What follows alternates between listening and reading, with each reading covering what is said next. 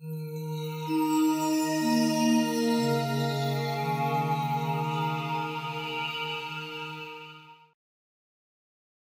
is the story of the electric guitar.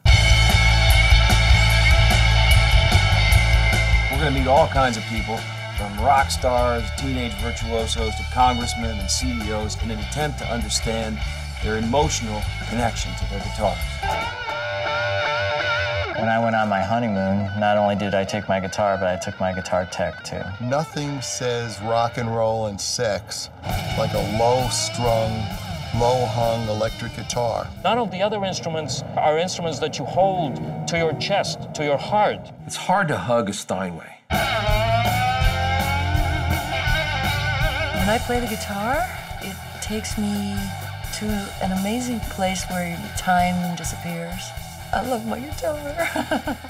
there are people who've paid over $400,000 for these.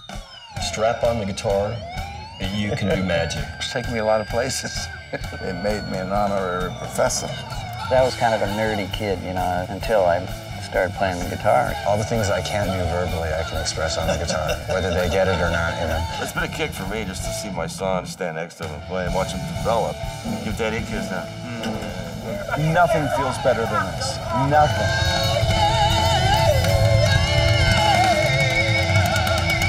I'm gonna do this till I die, folks.